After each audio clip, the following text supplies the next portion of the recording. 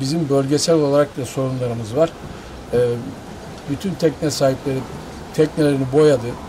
Güzelce, özenle boyadılar. Fakat solgan dediğimiz ters dalgadan dolayı tekne sahiplerinin solgandan e, mevcut boyadıkları teknelerin hepsi neredeyse boyamadan önceki haline döndü.